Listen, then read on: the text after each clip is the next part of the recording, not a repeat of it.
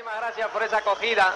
Eh, es, eh, nos es grato, tremendamente grato estar acá para compartir con todos vosotros y ver, eh, ver todo este crecimiento, ver este pabellón así, pues eh, lleno con casi 6.000 personas, pues es un, es un sueño hecho realidad para, para todos, ¿no? Como va creciendo el negocio.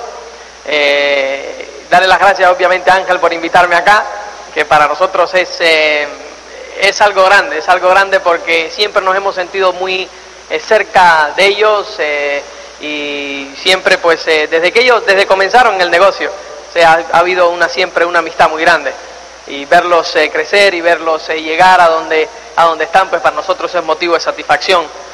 Y es como ver a los niños que van creciendo y se van independizando, ¿no? Con lo cual, pues es la ley de vida, ¿no? Así que esta noche nosotros vamos a compartir un poco eh, distintas, eh, distintos conceptos que creemos que son importantes y que nos han ayudado a nosotros muchísimo en el desarrollo del negocio. Eh, creemos que, o sea, el, el mundo, pues desde que el mundo es mundo, hay ciertos principios que funcionan. Y funcionan independientemente de que nosotros sabemos, sepamos que estén ahí o no. Con lo cual es, o sea, que no tenemos, pero digamos, funciona muchísimo mejor cuando nosotros sabemos eh, cómo hacerlo funcionar. Entonces, el- obviamente, nosotros pues hemos tenido una guía muy grande de parte de muchas personas que han tenido un impacto muy grande en nuestra vida, como han sido pues desde Paul Stevens hasta Carlos Marín, eh, Tim Foley, Childers, eh, Dexter, que toda esa línea de oficio que siempre han estado ahí, eh, aunque desde lejos siempre ha, ha habido una voz amiga cuando nosotros llamábamos por teléfono y nos han ayudado en, el- en este largo camino hasta, hasta acá. Y hemos aprendido pues eh, distintos principios que nos han ayudado mucho y eso es lo que queremos compartir con vosotros esta noche. ¿eh? Al aplicar esos principios que no os quepa la menor duda, señores, el estilo de vida es sensacional, es inmenso. Eh, yo siempre le digo a las personas que en este negocio tú no puedes tener un sueño demasiado grande, porque todos los sueños se pueden hacer realidad. Y eso es cuando terminen, ustedes os van a dar cuenta que todos esos sueños se pueden hacer realidad. Y está ahí almacenado. Ahora, de ahí, desde ahora hasta ahí hay que recorrer un camino. Y ese camino, y ese camino no necesariamente es color de rosa. Con lo cual, pues eh, yo lo que voy a hacer esta tarde es eh, darte un poco de prioridades, eh, de prioridades que tú pues eh, vas a tener, eh, vas, te aconsejaría yo que tuvieses eh, en tu negocio eh, para, eh, para digamos, eh, para, para, para que se haga mucho más fácil. O sea, como te dije al principio, hay ciertos principios que funcionan, nos guste a nosotros o no, y que son principios antiquísimos. Y simplemente hay que ponerlos en funcionamiento y darán resultado para ti y para todo el mundo. O sea, hay cuatro, a mí me gusta hablar siempre de, eh, de, los, de cuatro elementos que son fundamentales a la hora de, eh, a la hora de tú desarrollar eh, tu negocio o, dicho sea de paso, cualquier actividad que tú desarrolles. No solamente este negocio, sino cualquier actividad que tú desarrolles que tú, eh, que tú realmente pues, pues que quieras triunfar en ello. Y esas prioridades, pues por orden, son primero tienes que saber qué es lo que tú quieres y definirlo concretamente. O sea, es imposible que tú llegues a ningún lugar por casualidad. Con lo cual tú tienes que saber lo que tú quieres concretamente y eso es un sueño, eso es un objetivo en concreto. ¿eh? Ahora, después tú tienes que establecer ciertas metas para poder llegar a ese sueño. Una vez que tú tienes tus metas establecidas, tú tienes que poner un plan de acción para tú poder, obviamente, llegar a esa meta. Y después hay que poner el esfuerzo, obviamente, porque el plan de acción que tú escribes en un papel ¿eh? no tiene las dos piernas ni los dos brazos para hacerlo solo, sino que ese plan de acción tienes que ejecutarlo tú. Ahora, ¿qué es lo que nos ocurre a la mayoría de nosotros? Que nosotros estamos muy familiarizados con la parte de ejecución, o sea, con la parte del trabajo, con la parte del esfuerzo. Eso es algo que nosotros sabemos hacer muy bien. ¿Por qué razón? Porque la mayoría de nosotros venimos del mundo laboral. Y en el mundo laboral no tenemos que tener un sueño, ni un objetivo, ni tampoco tenemos que tener una meta, ni tampoco tenemos que tener un plan de acción concreto. Simplemente tenemos la mayoría que hacer una ejecución. Tenemos que poner un esfuerzo. ¿Correcto? Y entonces, pues, eh, ¿por qué? Porque somos empleados. Ahora, hay una característica que tiene el empresario, que es que el empresario sí tiene que tener un sueño, tiene que tener una meta y tiene que tener un plan de acción concreto. ¿eh? Y después obviamente tiene que poner un esfuerzo. Entonces, esa es la diferencia entre el empresario y el empleado. ¿eh? O sea, que antes de poner el esfuerzo hay que concretar. ¿Y qué es lo que nos ocurre, señores? Que tú tienes que darte cuenta de que tú eres un empresario. ¿eh? Tú eres un empresario. Tú tienes que darte cuenta de que tú tienes un negocio propio. Y al principio, cuando nosotros firmamos esa, esa firmamos ese contrato, pues nos es difícil pensar que tenemos un negocio, ¿verdad que sí? o sea, un negocio. Yo recuerdo cuando yo firmé por primera vez el contrato que Carlos Marín me dice, ahora tú eres un empresario. Yo cogí, me miré. Digo, bueno, ¿qué es lo que ocurre, señores? Que la sociedad nos enseña a juzgar una actividad empresarial por los gastos y no por el potencial. ¿No es correcto eso? ¿No es eso lo que nos enseña la sociedad? ¿Verdad que fíjate que cuando tú eh, eh, ¿cómo describimos cuando teníamos 12, 13, 15, 16 años a una persona que tenía, eh, que, era, que, tenía mucho dinero, una persona importante? ¿Verdad? Oh, fulano, fulano tiene, oh, fulano tiene un montón de pasta. Fíjate que tiene cinco naves y 500 empleados. ¿No es cierto? ¿Eh? O sea que mientras más gasto tenía, mientras la operación tuviese más envergadura, mayor era el caché y mayor era eh, la, digamos, eh, los laureles que le poníamos al individuo. ¿No es correcto eso? O sea, cuando, ¿qué es lo que estamos diciendo, señores? Que esa persona tiene un montón de gastos. ¿No es correcto eso? Con lo cual, pues, la sociedad nos enseña a analizar una actividad empresarial no por el potencial que tiene, sino por los gastos que tiene. Y eso es lo primero que tenemos que aprender. O sea, nosotros, para tener una actividad empresarial, señores, lo único que hay que tener es dos cosas fundamentales, clientes y productos. Es lo único que hay que tener. Cliente y producto. El resto son gastos añadidos de la operación. Son gastos añadidos de la operación, que nosotros, la mayoría de eso, no tenemos que tenerlo. Eso habla en positivo de la actividad empresarial y no en negativo. Con lo cual tú tienes que empezar a mirar las cosas ya desde esa perspectiva ¿eh? donde tú tienes una actividad empresarial con un potencial increíblemente grande, ¿eh? con un potencial inmenso, ¿eh? donde tú no tienes que tener todos esos gastos fijos para realizar tu operación empresarial. Para empezar, pero eres un empresario y eres tan empresario como el empresario de la construcción o eres tan empresario como, como el empresario de la hostelería. Eres tan empresario como cualquiera que tiene una actividad empresarial. Con lo cual, pues, al ser un empresario y ya tú saber que eres un empresario, entonces tenemos que establecer las prioridades ¿eh? que requiere el ser empresario. Ya no la actividad empresarial, que requiere el ser empresario. ¿eh? Y eso es la actitud, desarrollar la actitud del empresario. ¿eh? Y la actitud del empresario, señores, es definir tu sueño u objetivo, es definir una meta concreta para alcanzar ese sueño, es, eh, como tercero, definir un plan de acción concreto. Y eso es, eso es lo que define tu actitud. Y después vamos al esfuerzo. ¿eh? Pero eso, eso es una actividad, señores, que esos son tres puntos concretos. ¿Por qué razón? Vayamos y analicemos el primero. Y viene otra vez con los sueños, diría, diría más de uno, ¿no? Otra vez con la misma historia. Sí, señor. O sea, señores, el sueño es la gasolina en el tanque. El sueño ¿eh? es lo que va a hacer que tú ¿eh?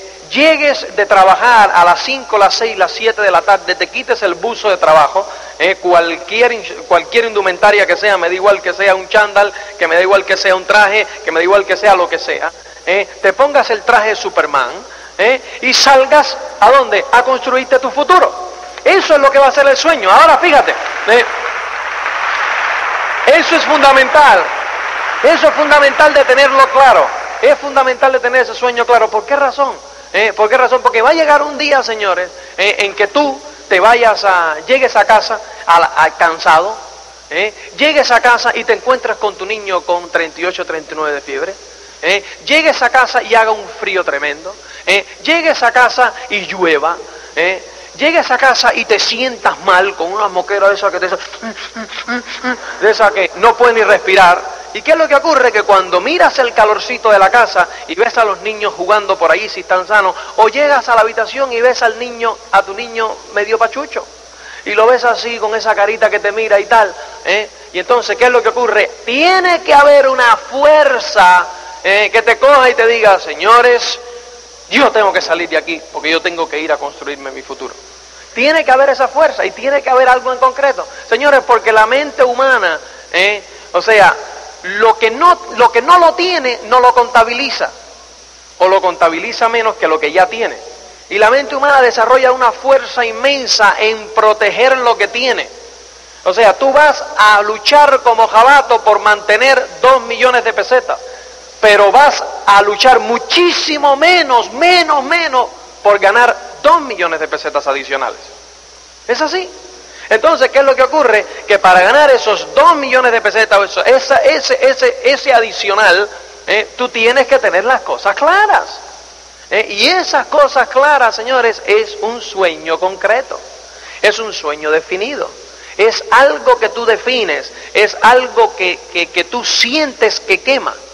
Los otros días viniendo con Emilio Montaraz desde eh, de Miami, que estábamos así, estábamos, él, lo, bonito del negocio. O sea, yo, nos fuimos juntos a Miami, yo me fui a dar un seminario a México y él se fue a dar un seminario en Puerto Rico.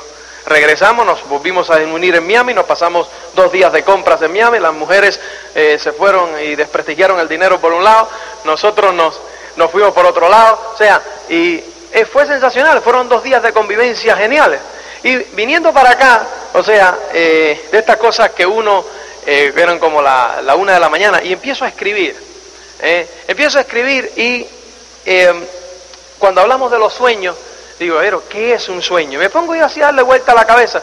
Fíjate, dice, ¿qué es un sueño? El sueño es la fuente de energía, es aquello que nos motiva, es un deseo ardiente es algo tan bueno y grande que cuando está bien dentro de ti casi quema. Es aquello que hace que tiremos hacia adelante cuando nuestra mente nos dice, no puedes más. Es aquello que nos hace recorrer el kilómetro extra. Es, al fin y al cabo, la razón de existir. O sea, es la razón de existir.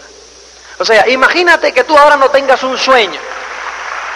O sea, imagínate que tú no tengas un sueño. Entonces, ¿para qué vives? ¿Cuál es la razón de vivir entonces? Decía Lincoln que la gran tragedia de la humanidad era precisamente ¿eh? que la mayoría de los hombres morían a la edad, morían entre los 25 y los 35 años. Y después había que esperar hasta los 65 o 70 o 50 hasta que el cuerpo muriese para enterrar al cuerpo y a la mente ya muerta los dos en el mismo hueco. Ponte a pensar en eso. Ponte a pensar en eso. Ponte a pensar en ello. O sea, cuando dejamos de soñar, señores, dejamos de existir. ¿Cuál es nuestro propósito en la vida? ¿Cuál es nuestro propósito en la vida? Existe solamente un sueño y ese es el sueño del dueño de la empresa. Ese es el sueño del dueño. No existe más de uno por empresa. Ese es el sueño del dueño, señores. Sí es sencillo. Los otros días me dice uno, es que yo soy el director general. Digo, me da igual. Me da igual. O sea, es como un tablero de ajedrez. Unos son peones, otros son la torre, otro el caballo y otro el alfil. Y está hasta inclusive el rey. Pero ninguno de ellos se puede mover por sí solo. Existe una cabeza pensante que es la que dice, rey dos caballos. Y cuando el rey coge y dice, yo quiero uno torre, dice, usted va dos caballos. ¿Se? ¿Entiendes? Sí es sencillo. ¿Me entiendes? Así de sencillo. Señores, y esto es sin ánimo de polemizar. Esto no es ni bueno ni malo, es la realidad. Es la realidad, no polemicemos. No hagamos de esto una polémica. Lo otro día me dice uno, eso lo cambiaríamos sí. Digo, ahí hay un montón de condicionantes. La realidad es que solamente hay un sueño por empresa y ese es el sueño del dueño, ese es el sueño del empresario, señores. Con lo cual tú tienes que tener un sueño claro, definido. Algo que es lo que te va a hacer, señores, que tú a las 2 de la mañana, después de salir de tu casa y recorrer tres horas, llegues a un lugar, te digan que no y te digan que tú estás loco, y la persona a la cual tú le fuiste a dar la reunión dice, bueno, como a mis amigos no le interesó a mí tampoco y bórrame de ahí. Y entonces tú te metas en el coche y digas, y ahora tengo tres horas de vuelta para llegar a las tres de la mañana a casa, para levantarme a las seis de la mañana, y que entonces tú empieces a preguntarte, ¿qué hago yo en este negocio? ¿Qué es esto? Y entonces, ¿qué es lo que ocurre, señores? Si tú no tienes tu sueño claro, vas a empezar a, vas a tirar la toalla. Vas a tirar la toalla. Ahora, si tú tienes tu sueño definido, no es que eso no te dañe y no es que es, si tú, eh, no es que no, o sea, si tú tienes tu sueño definido, señores, empieza, eso empieza a qué cosa, a crearte como escamas y empieza a curtírsete la piel necesario para poder crecer. Se te empieza a curtir la piel. ¿Me entiendes? Entonces, ¿qué es lo que te ocurre si tú estás hecho, si tú tienes ese sueño claro? Que en vez de tirar la toalla y salir con el rabo entre las piernas a una esquina y llegar a casa derrotado, pues te vas a meter en ese coche. ¿eh? ¿Y qué es lo que va a ocurrir? Que al principio pues vas a empezar a decirte, porque eso nos pasa a todos, que yo no valgo para nada y que este negocio no funciona y que no sé qué y que claro, esto funciona para ángel de la calle, pero yo que soy un pobre diablo y no sé qué. Y empieza tal, y entonces empiezas a poner música en la radio y ves que la cinta está ahí, ¿verdad? Está ahí puesta y no la quieres empujar porque sabes lo que te va a decir, ¿verdad? Y entonces tú quieres estar miserable, ¿entiendes? Y entonces vas a coger, está esa cinta puesta ahí, pasan 10 minutos, 15 minutos, oyendo la música y sintiéndote miserable. Y la cinta ahí, y tú sigues, y me rajo, y yo esto no lo aguanto.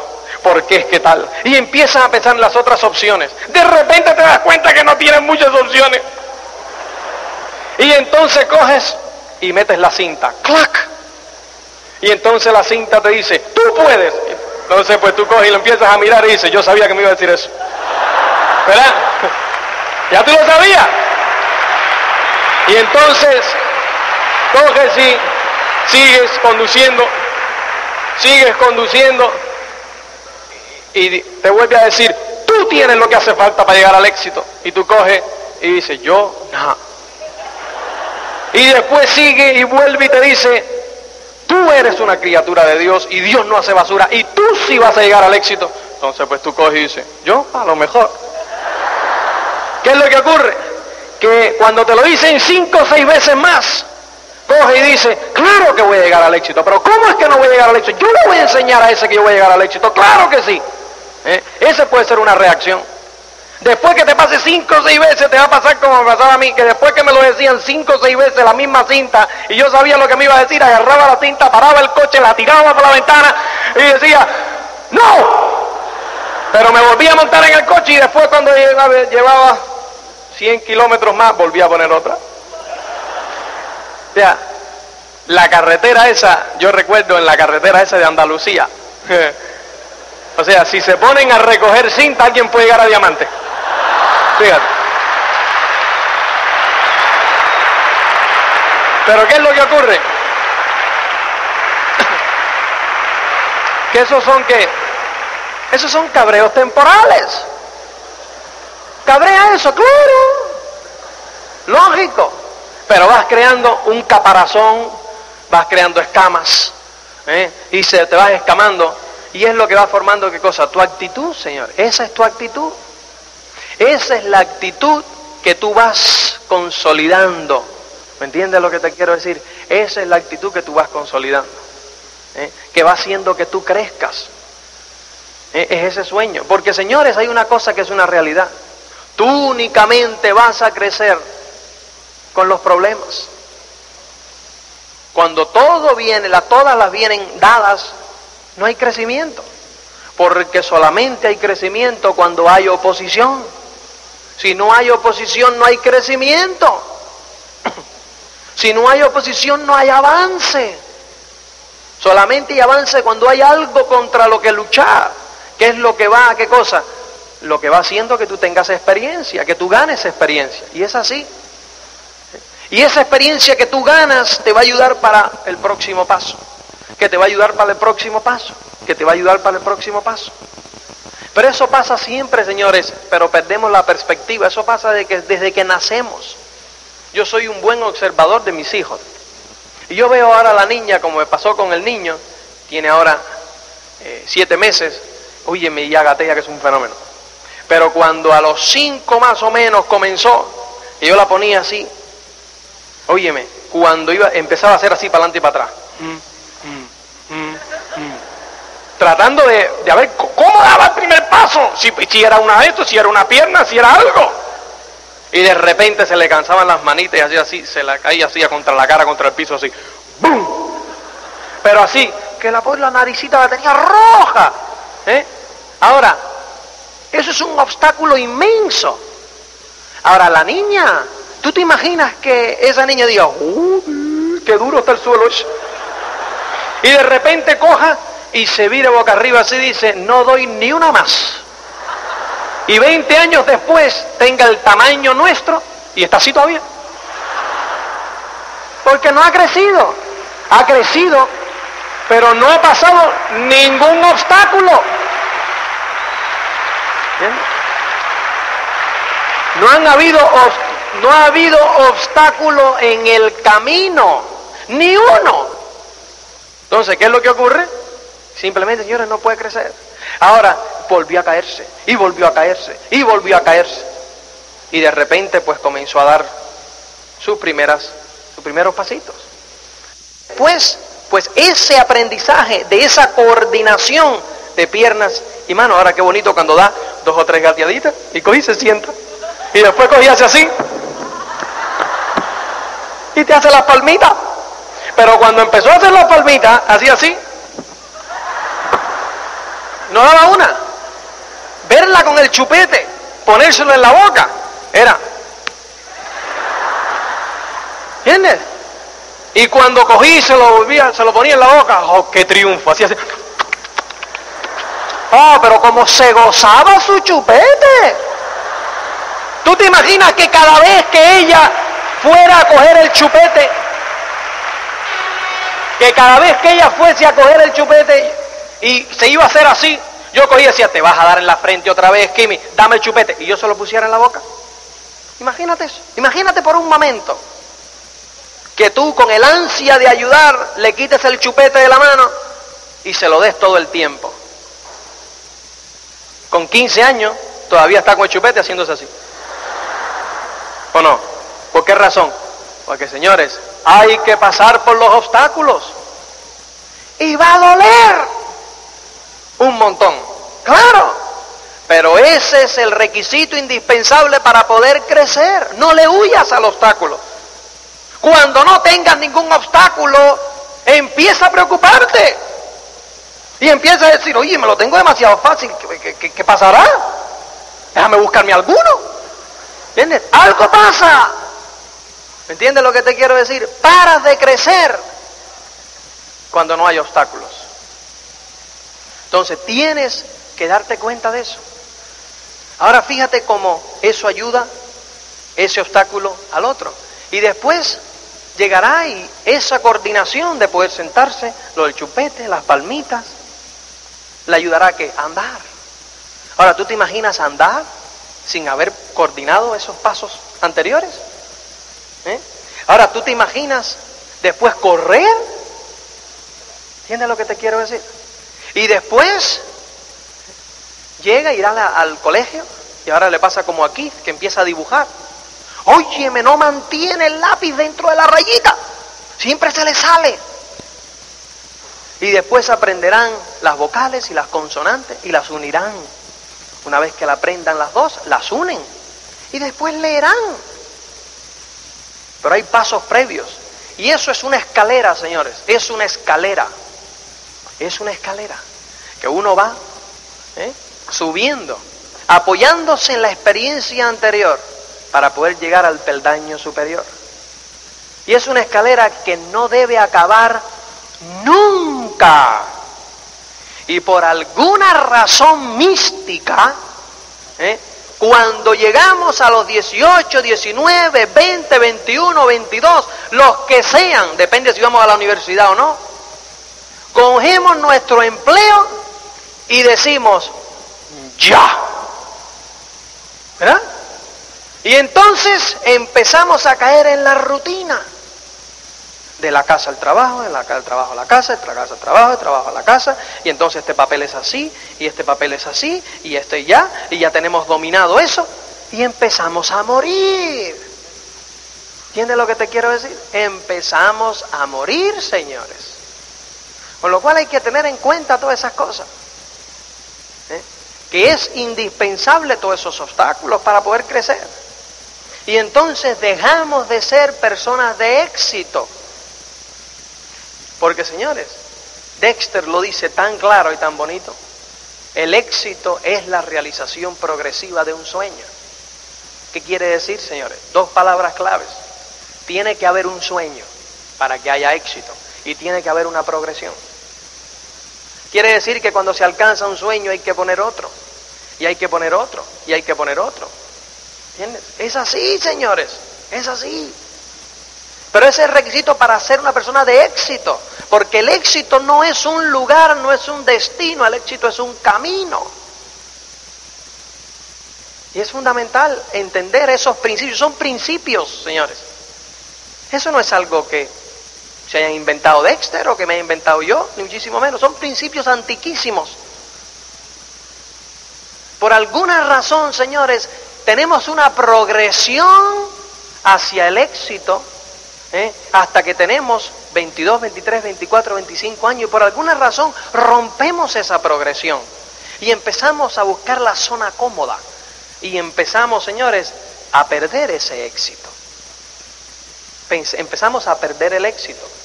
Con lo cual, pues, cuando tú es el requisito indispensable para de donde nosotros estamos cuando comenzamos el negocio, a lo que comentaba Cristina, Disney, el Caribe, Suiza, el mundo entero, ¿eh? es pasar por un montón de obstáculos. Con lo cual, pues, la respuesta, la, búsqueda no debe, no debe ser el evitar obstáculos, sino la búsqueda debe ser, dame más, dame más, dame más. ¿Dónde hay más? Porque ahí es donde está el crecimiento. Sí es sencillo. Con lo cual tienes que tener, señores, un sueño concreto, concreto, concreto y vivirlo. Que se haga parte de ti. No necesariamente ambos en la pareja tienen que tener el mismo sueño. Y ahí viene otra de las cosas que nosotros hacemos. Le queremos vender la burra a la pareja. Pero no le queremos vender la burra que él quiere, sino la burra nuestra. Y entonces, pues eh, eso es, es increíble. Es imposible, señores. No se le puede vender la burra nuestra. Hay que buscar qué burro es que le gusta a la otra pareja. Y que lo escriba. Y definir cada quien su sueño concreto. Ahora, una vez que ese sueño ya está ahí, ¿qué quiere decir? Lo único que quiere decir eso, señores, es que hay un compromiso por ambas partes de ir a por él. Y te digo que son diferentes. A mí no me motiva lo que le motiva a Cristina.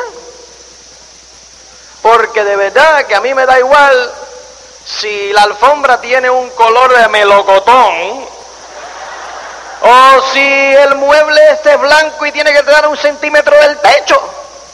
¿Qué me importa? A mí me interesa el color de Mercedes mío. Oh, ese sí. ¿Entiendes? Y ambos, y ambos son sueños legítimos. Ella tiene el de ella y yo tengo el mío. ¿Se acaba? Cada quien. Oye, si es el mismo, genial. Pues no tiene por qué serlo. Una vez que se escriben hay un compromiso de que de ir a por él. De ir a por él. Ahora, obviamente, para ir a por él hay que establecer ciertas metas. hay que establecer unas metas. Y la meta, señores, es simplemente el nivel al cual tú tienes que llegar para obtener qué cosa? Tus sueños. Es el nivel al que tú tienes que llegar para obtener tus sueños. ¿Qué nivel es ese? ¿Perla? ¿O el nivel va a ser esmeralda? ¿O el nivel va a ser diamante? La meta sí tiene que ser común, no el sueño. Llegar a diamante para que yo realice el mío del Mercedes y que Cristina realice el de ella de la alfombra melocotón. Ahora, ¿qué es lo que ocurre? Que tenemos que tener cuidado que más o menos cuesten lo mismo. ¿Entiendes? Entonces ya no puede ser nada más que la alfombra melocotón, ya tiene que venir una casa donde la alfombra melocotón. ¿Entiendes? ¿Por qué razón? Porque es bien sencillo. Si los sueños no tienen la misma altura, no tienen que ser lo mismo, pero la misma altura, entonces posiblemente ella se, si el de ella ella lo consigue con un directo y yo lo consigo con un diamante, quiere decir que entonces ya no tenemos una meta en común. Con lo cual, ¿cómo se pone la meta en común? Simplemente, señores, ajustando el nivel del sueño. Ajustando el nivel del sueño. Ay, pero entonces ella no tiene una que meta. Entonces, ¿cómo se sube? Bien sencillo, señores. Es sencillo llegar y si ella consigue esa casa, si ella esa casa para esa alfombra melocotón la consigue en Esmeralda, hay que aumentar el precio de la casa. ¿O no? ¿Cómo? ¿Vendiendo de la burra? No. ¿Diciéndotelo así? No. Llevándole a visitar donde venden esa casa. Sí es sencillo. ¿Entiendes lo que te quiero decir? Y es coger y decirle, óyeme, quiero que vengas a ver una casa. A mí ya yo tengo la que me gusta, pero si yo sé, mi amor, que tú tienes la que te gusta, pero vamos para que lo vea. Compláceme. Bueno, vamos, me van a regañar dientes. ¿Verdad? Ahora, ¿qué es lo que ocurre?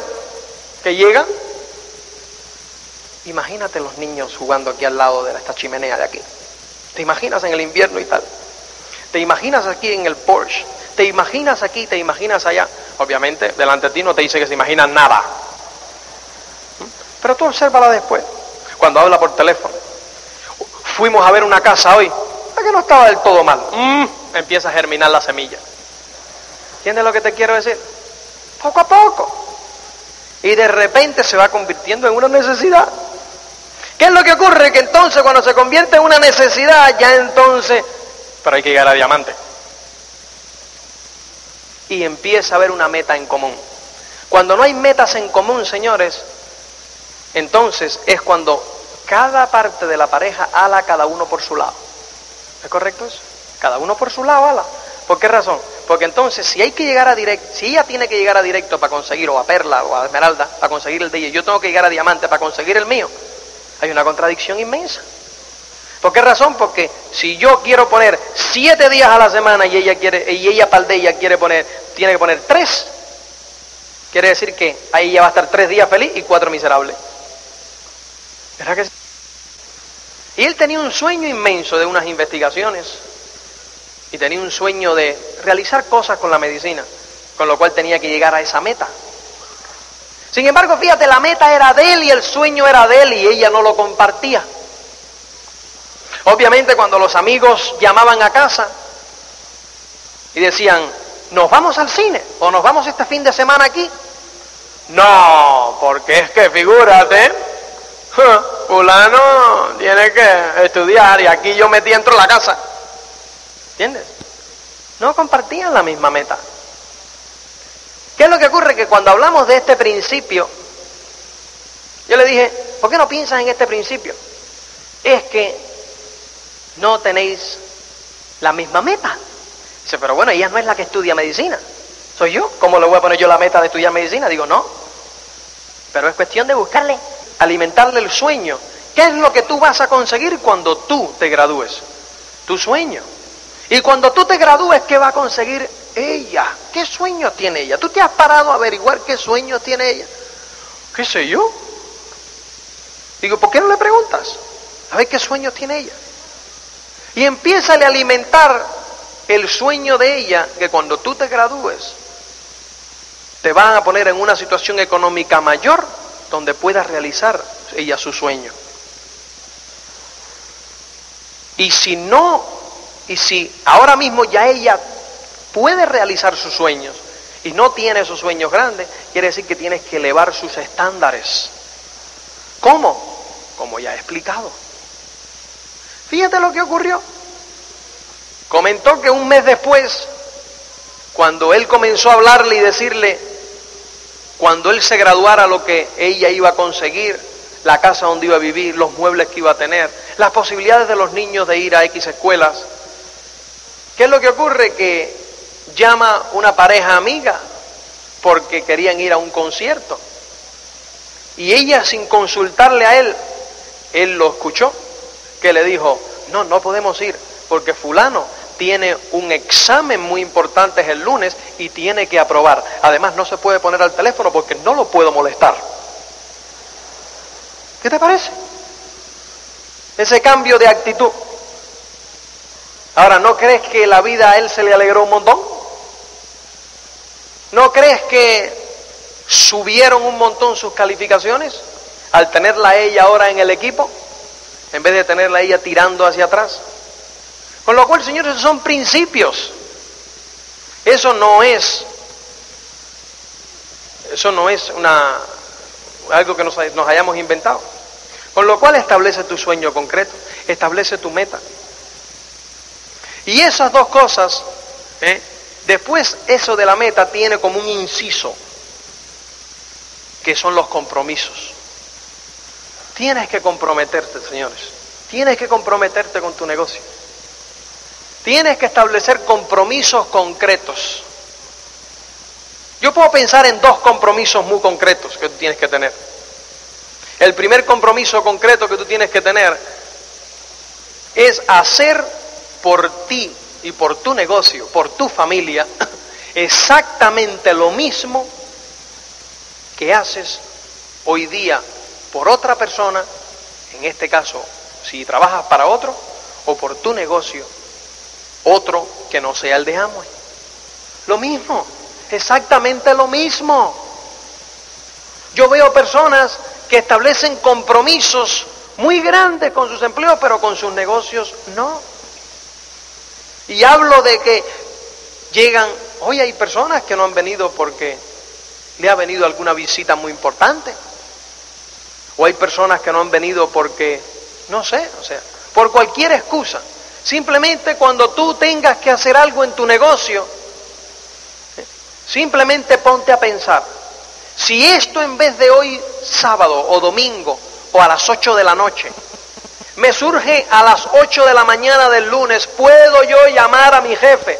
O si trabajo para mí, ¿puedo yo no ir a mi negocio?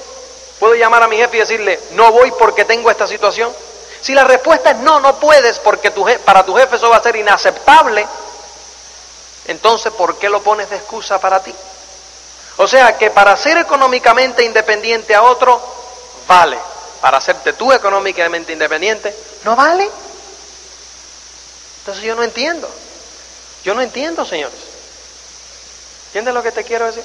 Tienes que pensar en esos términos. Yo veo personas que hacen compromisos y hay compromisos, señores, que a veces son difíciles en ese sentido, porque la sociedad indica que son compromisos buenos, válidos de hacer como por ejemplo los niños y las madres. Yo he conocido personas, mujeres, que han ido donde está otra y le dice, hey, hoy existe un, va, va a haber un seminario, o el sábado que viene va a haber un seminario. Tienes que estar allí. No. ¿Por qué? Porque yo quiero mucho a mis hijos, lo cual implica que tú no quieres a los tuyos. ¿Entiendes? ¿Y qué tiene que ver eso? Es que es el cumpleaños de él y coincide en sábado. Este año coincide en sábado. Dentro de dos años va a coincidir en lunes. ¿Vas a llamar tú a tu jefe y decirle que hoy no vas porque es el cumpleaños del niño? ¿A qué no? ¿Entiendes lo que te quiero decir? ¿Entiendes? Ahora eso la sociedad lo acepta. Déjame ponerte lo más difícil todavía. ¿Y qué tal si está enfermo? ¿Ah? Los otros días, hacía un tiempo atrás, una de las oficiadas nuestras me viene con un encuentro que si no fuese así eh, triste, fuese gracioso. Tenía a su niña enferma. Tenía 38 de fiebre, esta cosita que los niños que tienen catarrito y tal, y se lo deja a su madre y se va para el seminario. Su prima trabaja con ella. El lunes por la mañana llega allí y su prima le dice, yo no me explico qué clase de madre eres tú. ¿Qué pasó? Tú sabes lo que es dejar todo el sábado a la niña sola. La dejé con mi madre. Es lo mismo porque estaba enferma. ¿Eso no te hace sentir mal a cualquier madre? ¿Será que sí? Sin embargo, fíjate cómo ella me llega con el cuento de que da la casualidad que la prima también tiene una niña.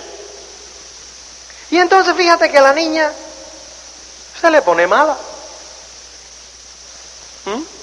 Pero que falta el lunes, falta el martes, y el martes por la noche llama el jefe a casa. Óyeme, ¿qué es lo que? No, que la niña, ¿sabes qué tal? Es importante que mañana estés aquí. No puede faltar mañana. Esto no se puede seguir consintiendo. Yo lo siento por tu niña, pero yo te necesito aquí. Entonces, ¿qué es lo que ocurre? Fíjate, lleva a la niña el miércoles a las 6 de la mañana con 39 de fiebre a una guardería.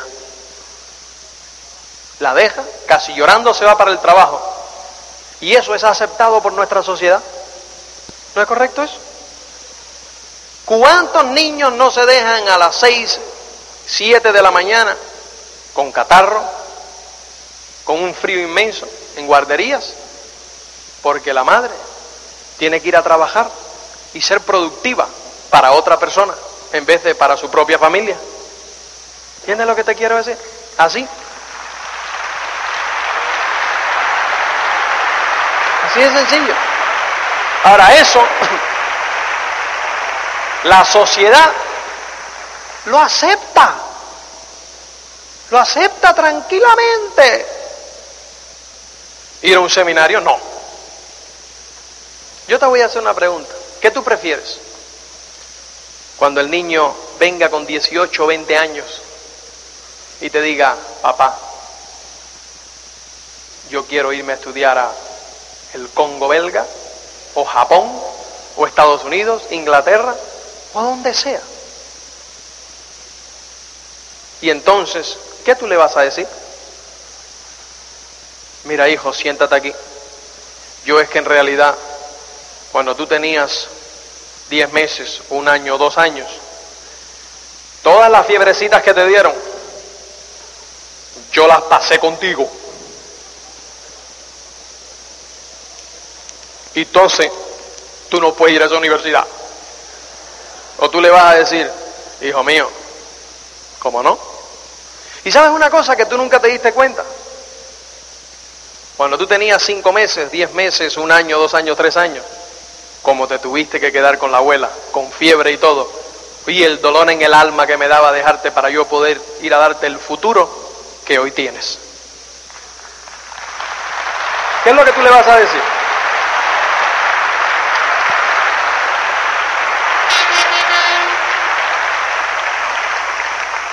El futuro se siembra hoy, señores. El futuro se siembra hoy. ¿Y eso qué es lo que da, señores? Una actitud. Una actitud del empresario. ¿O es que cuántas veces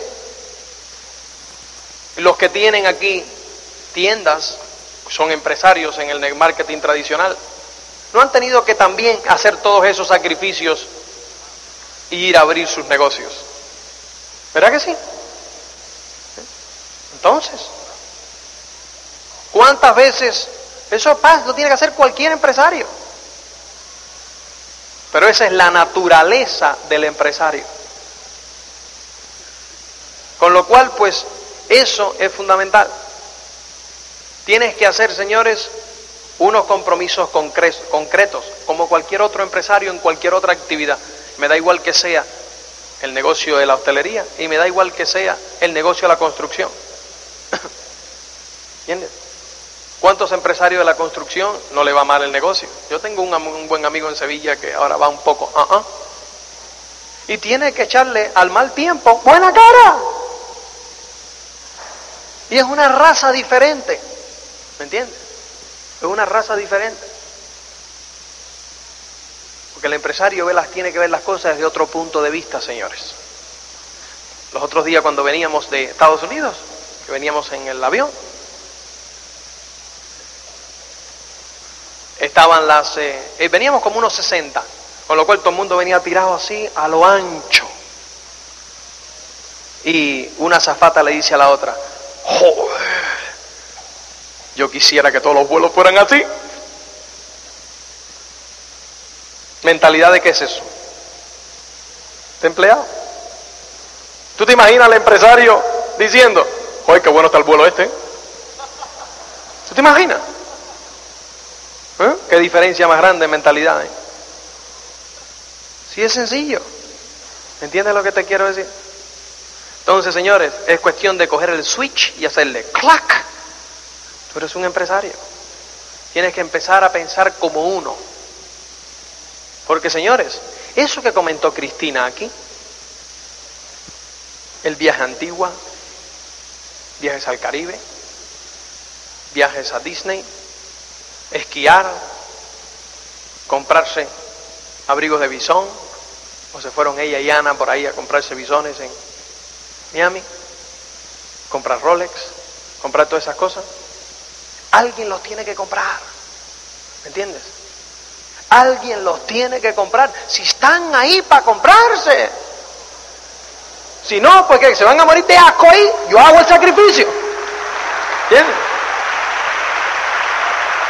Alguien tiene que comprarlo. Ahora yo te voy a dar una noticia.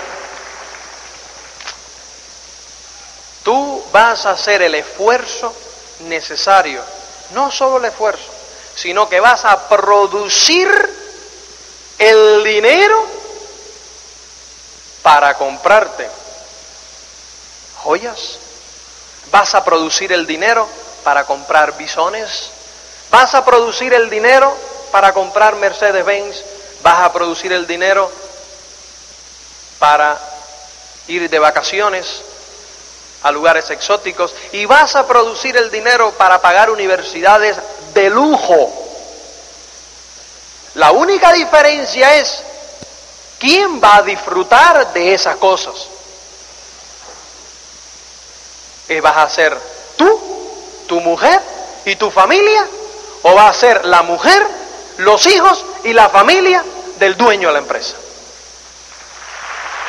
donde tú trabajas. Pero alguien lo va a disfrutar. Alguien lo va a disfrutar. Tú tienes que decidir quién es. Y eso depende de dónde tú pones el compromiso. No estoy hablando, señores, de que ahora tú cojas y te enfoques en tu negocio y te olvides de donde tú trabajas. No, tú tienes que ser donde tú trabajas el mejor tú. Tú cuando tú trabajas, ¿eh? cuando tú dejes el trabajo, el empresario, ¿eh? el jefe, el dueño de esa empresa, tiene que echarte en falta. Y haz lo posible como para que tenga que buscar a dos personas para hacer tu trabajo. Eso es lo que va a hacer que se hable bien de este negocio. Tú puedes decir, a mí no me importa, porque a mí me importa mi negocio. Si tienes esa actitud, en todos los lugares, señores, cuando vayan, cuando alguien vaya, entre y diga, yo he entrado en el negocio de Amway, va a ser despido automático. ¿Entiendes lo que te quiero decir? Y a lo mejor ese que despiden va a ser de tu grupo. ¿Por qué razón? Porque se va, crea una mala fama. Tenemos que cuidar eso muy mucho. Tenemos que ser los mejores empleados. Los mejores. Porque eso es lo que va a cultivar el mercado para después volver a auspiciar. Pues cuando tú te vayas de ahí, entonces momento de contacto con los jefes, con todo el mundo. ¿Y dónde vas? Siéntate ahí que te voy a explicar. Y única y exclusivamente si sienten admiración por ti a través del buen legado que tú has dejado, a través de ese trabajo responsable, vas a poder sacar de ahí frutos para tu negocio. Entonces, no quemes nunca la hierba debajo de tus pies. Siémbrala. Tienes que ser el mejor tú. Es una responsabilidad como distribuidor de Amway.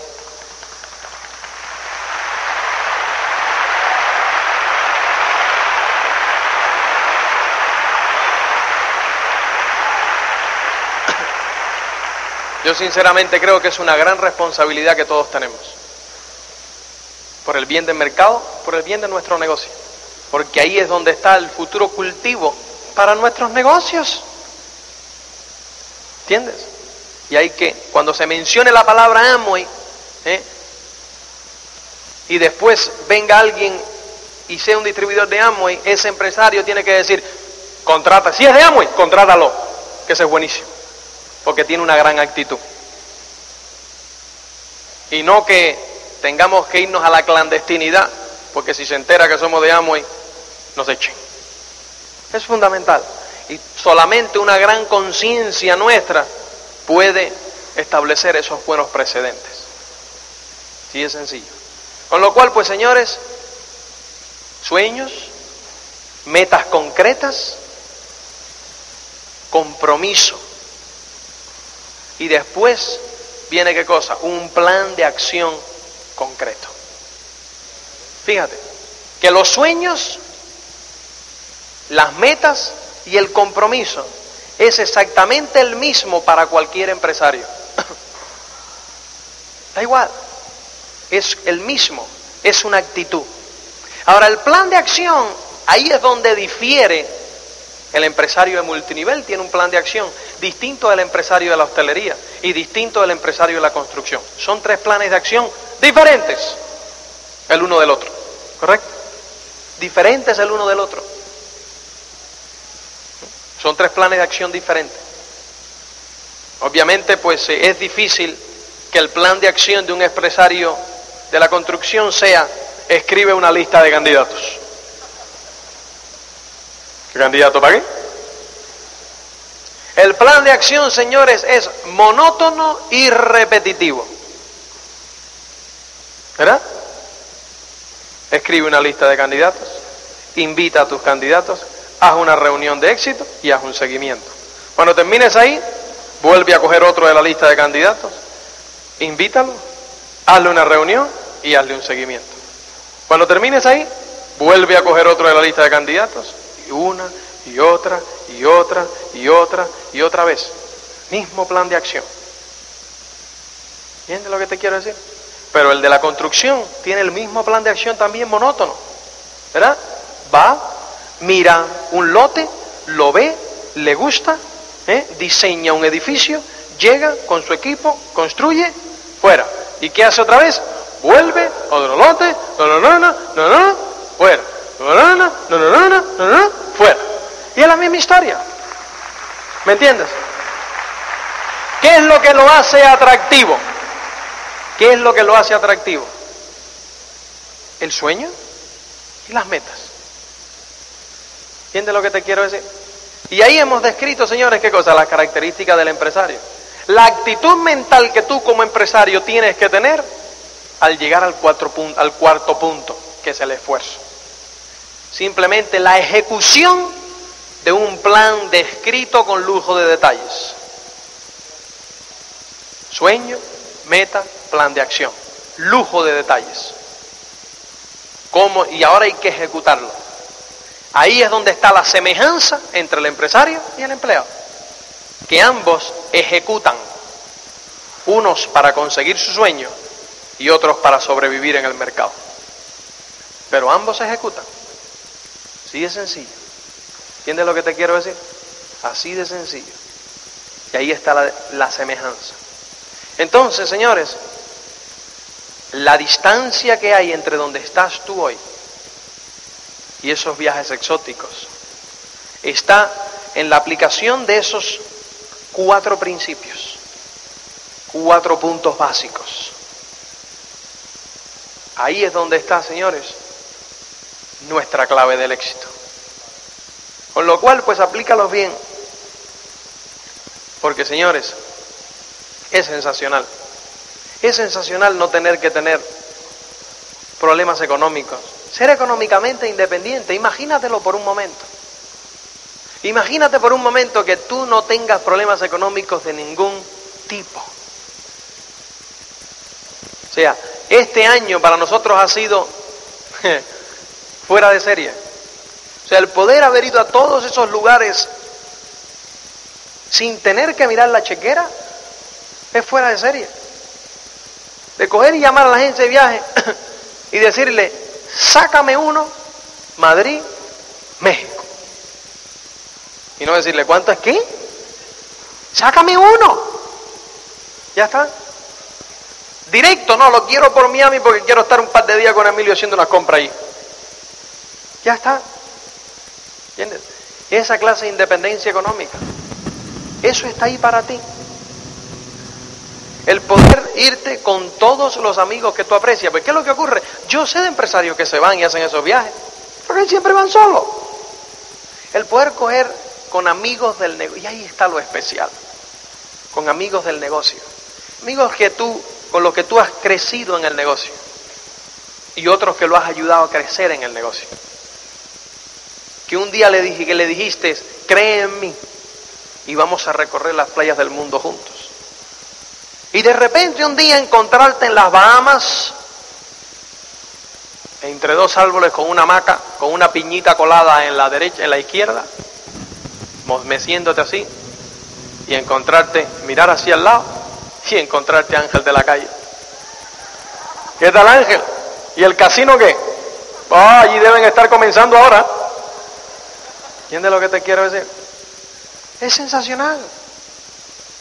Es una alegría que hasta dan ganas de llorar. Créeme. Por eso dice que lloramos y reímos juntos. O sea, de coger y sentarnos en la arena y, sal y derramar las lágrimas así tontas de tanta alegría, inverosímiles de que puede haber tanta satisfacción en un momento.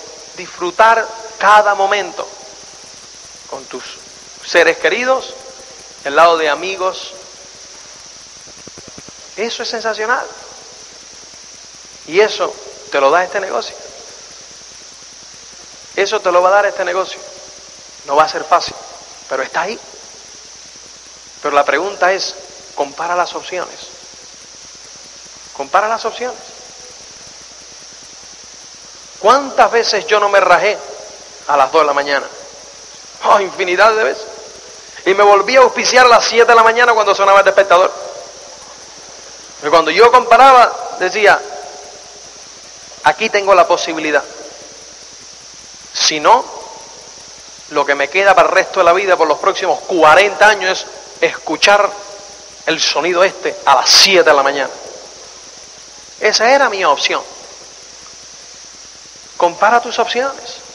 Muchos de nosotros actuamos como si tuviéramos opción 3, 4, 5, 6, 7, 8, 9, 10, 12 para la independencia económica.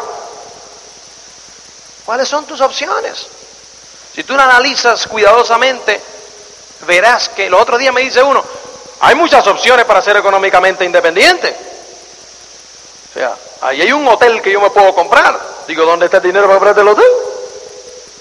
¿Entiendes lo que te quiero decir? Hay muchas opciones, sí, pero ¿cuáles son las tuyas en específico? Ahí es lo que hay que analizar. Y es sensacional, señores. Poder irte a Disney con los niños, antigua, fuera de serie. Puedes levantarte por la mañana a las 9 de la mañana, desayunar todos frutas tropicales, irte a esquiar después tranquilamente, con todos tus amigos, coger y salir en el esquí y encontrarte a Miguel Aguado en un velero por allá afuera haciendo sus velas, porque nosotros le decimos Cristóbal, tú sabes que él es marino, nosotros le decimos Cristóbal Colón, cuando nos vamos por ahí, porque él se va en los veleros, esto por ahí fuera, a navegar y tal, parece Popeye. Qué genial. Pasarle por al lado, Miguelón. Toda la bahía para ti. Eso está ahí, señores. Llegar después, tomarte tu piñita colada al lado de la piscina, con tus hijos que están aquí. Aquí están los de Ángel, aquí están los de Emilio. Aquí está Ruth, la de Joaquín. Todos jugando ahí. Y después echarte la cuenta a los chinos y siempre perder tú y no importarte. ¿Verdad? ¡Qué genial!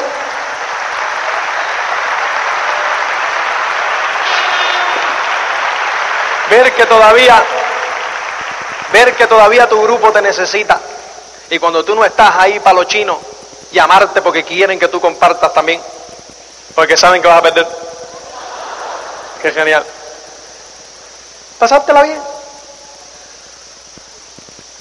Comer así en buffets, al lado de la piscina, al lado del mar, las palmeras. Llegar, te tiras la siesta, te levantas a las 5, te vas a jugar la Copa Davis de tenis. Era importantísimo. Aquellos partidos, se derramaba sangre ahí. Aquellos partidos.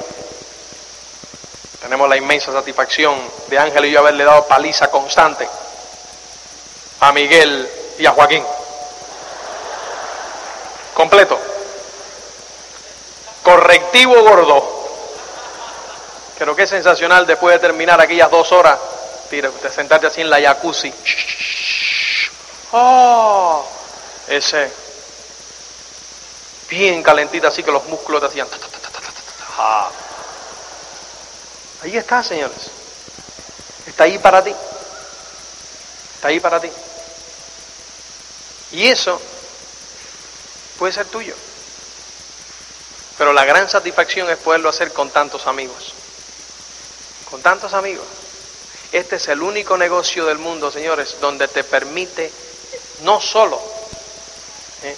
hacerlo con muchos amigos, sino el poder ver, por ejemplo, a Ruth, la de Joaquín, decirle así a Lidia, la de Emilio, cuando nosotros llegamos a Diamante,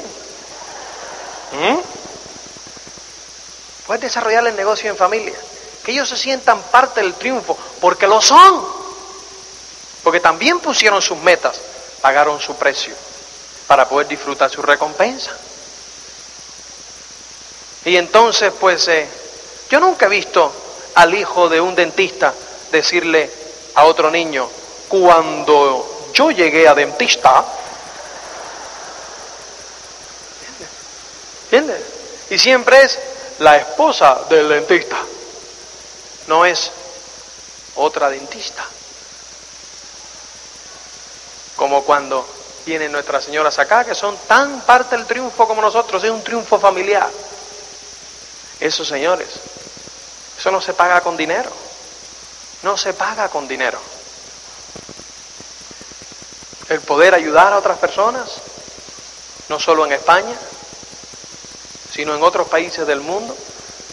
Poder coger y apadrinar niños en Guatemala, en países diferentes de América, y saber que otros seres están ahí recibir sus cartas diciendo gracias, recibir sus dibujos.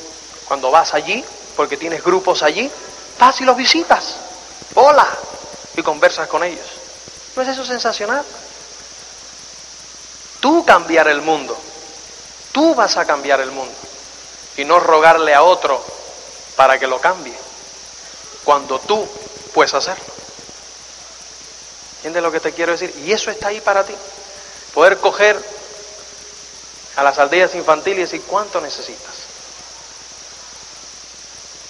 pueden apadrinar niños, pueden apadrinar casas, pueden apadrinar aldeas. Y decir, no, no, no, olvídate de niños, que a mí me apadrina la aldea completa. ¿Entiendes lo que te quiero decir?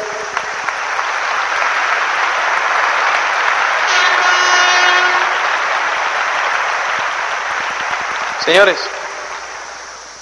cuando nos vayamos de este mundo, todos vamos a ser juzgados por el impacto que hayamos causado.